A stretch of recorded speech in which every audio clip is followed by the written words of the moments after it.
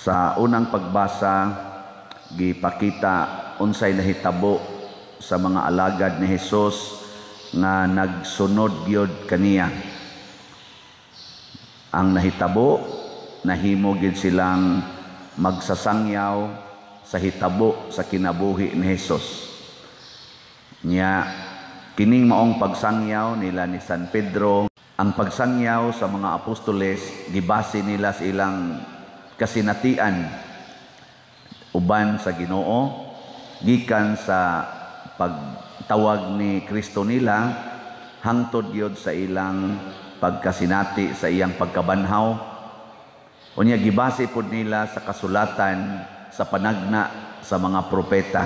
So ga gakuan ba gauban ang duha ka basihanan ang panagna sa mga propeta ug ang ilang kasinatian kita karon kung gusto tang mahimong suod Dios Ginoo kinahanglan mausad ni ang atong basihan.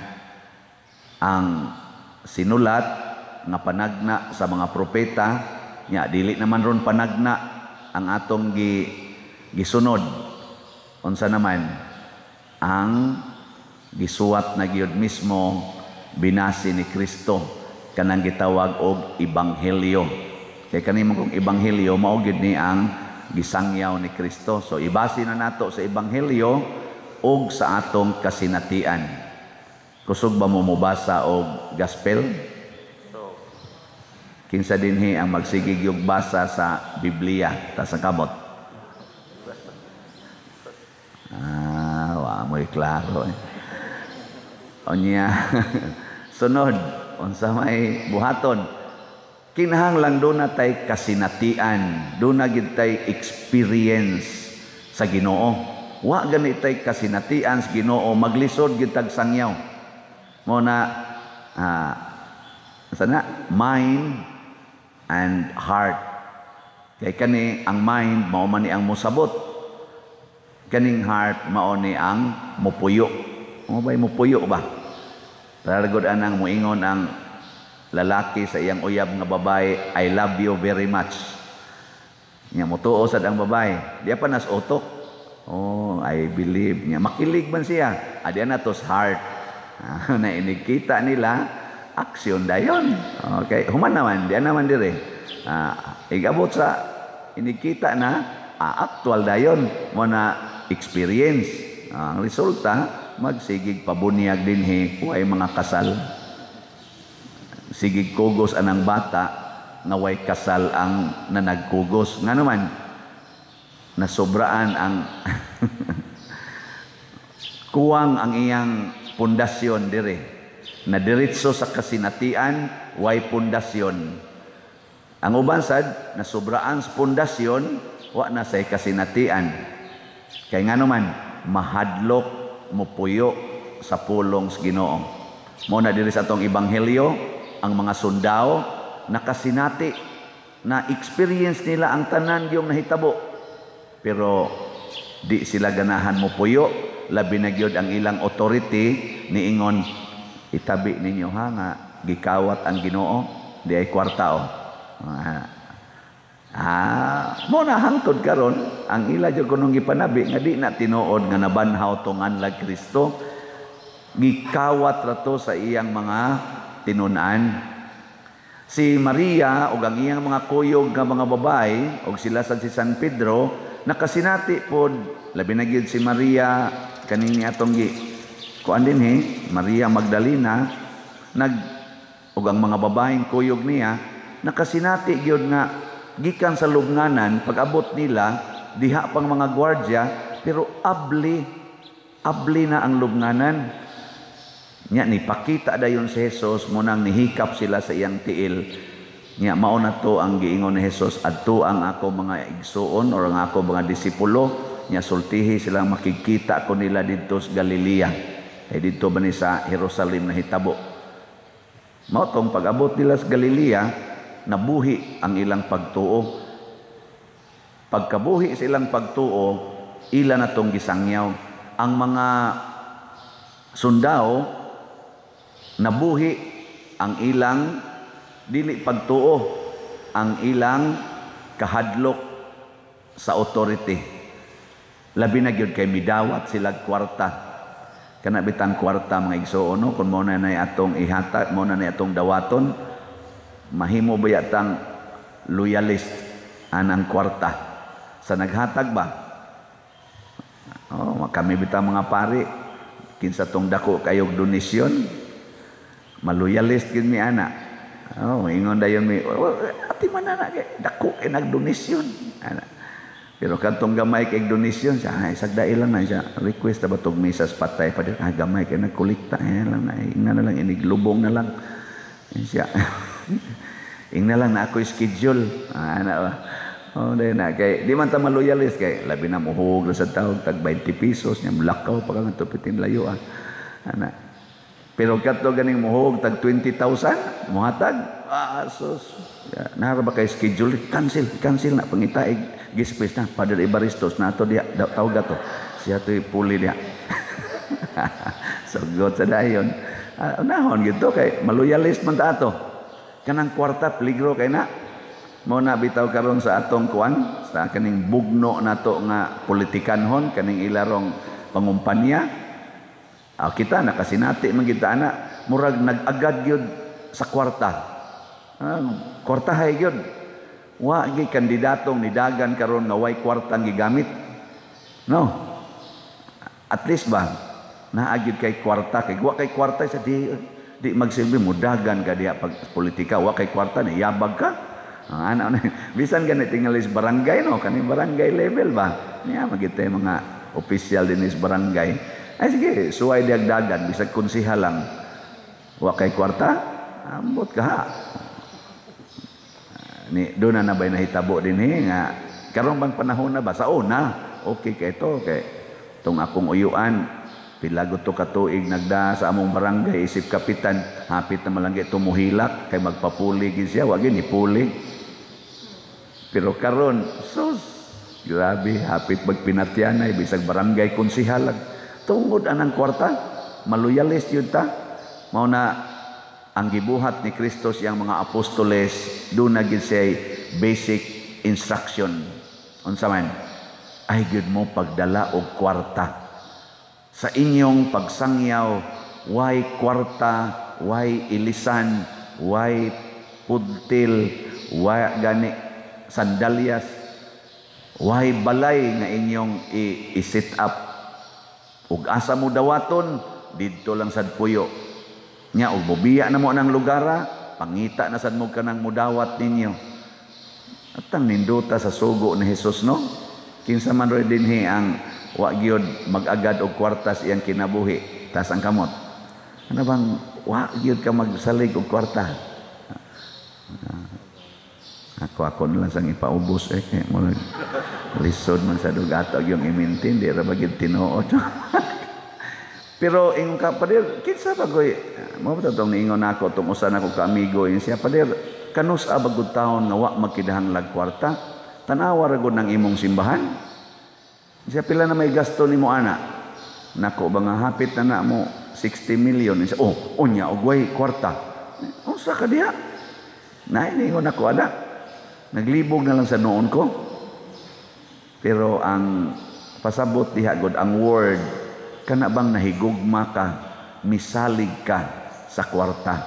Kana maoy kuhaon kanang gugma sa kwarta ug pagsalig diha sa kwarta. Kay kun atong tan-awon god kaning salapi kanibang salapi ba parehas mga sundao o nana sila salapi kinsa may nihatag nila sa kwarta Kinsa nihatag? Ang mga pangulo sa mga Hudiyo. Dili ang kwarta. Ang kwarta niabot nila tungod sa mga pangulos mga Hudiyo. Katong pangulos mga Hudiyo, kinsa may gahatag ato nila nga kalibutan? Kinsa? Aw kamo good. Kamo, kinsa may gahatag ninyo nga kalibutan? Kamo? Sister Janing mo gabuot ang ma buhi siya dinhi nya puyo siya sa ibabaw eh, di oy ang naghatag nato dinhi apil nako ang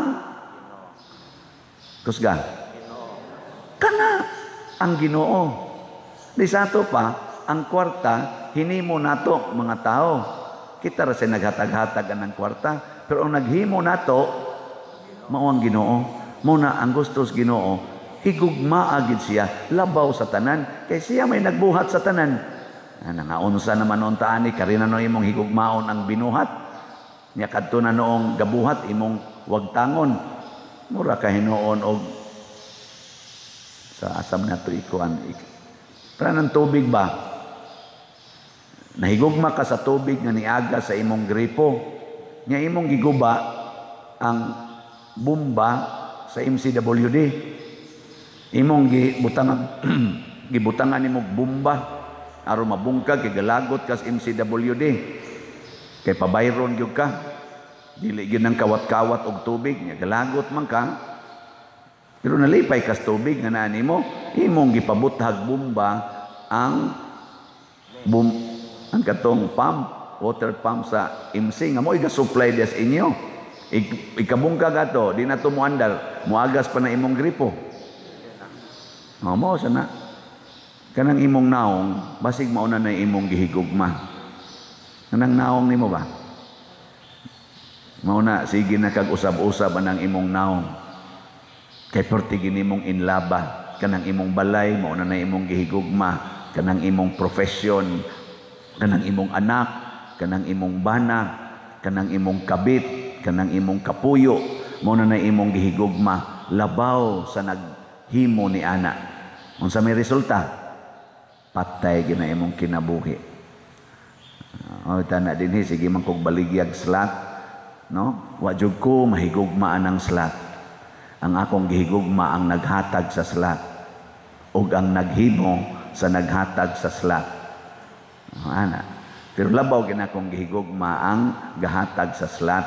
O sana naghimo sa naghatag sa slot muna ini kadawat na nako anang inyong mga gipamalit sama anang inyong palit anang dopes kaning atong sus BF igdawat nako ana ako ginang ibalik ngadtos gahatag kung unsay tumong nga iyan ang gihatag. No nang uh, at least limpyo akong konsensya kay ibaw man siya nga ako nang gigamit sa iyang tumong. Mao ni ang role nato nga mga nagsunod sa Ginoo ang pagsangyaw.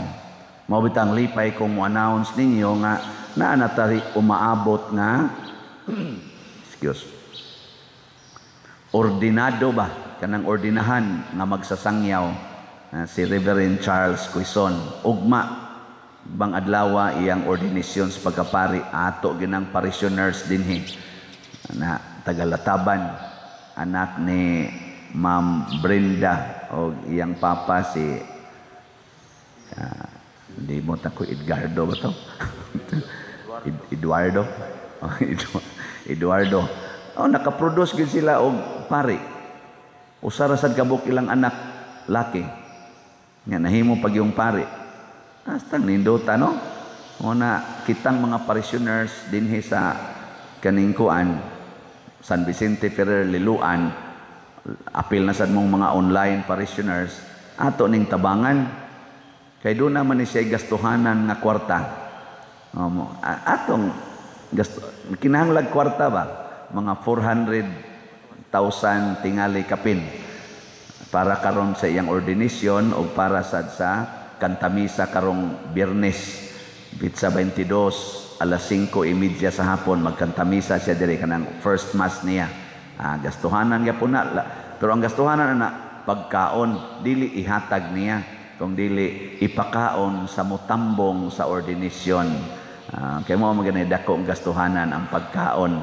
Ay kanas Father Charles magkuha naman na magsige naman nagdupa-dupa. Ah, na, kolekta na na siya. Kaning among kamot mga pare apil na ning niyang gas celebrate nako gamahanan man kay ni. Inigdupa ani tubod man dayon ng kuan kwarta. Importante kay among kamot mo na panalipdan gini namo among kamot kay maputol ni dinhi wa na gyud mo kani may tuburan o kaning among baba kay di na nimo wali. Aso wa na gyud mahimo ani.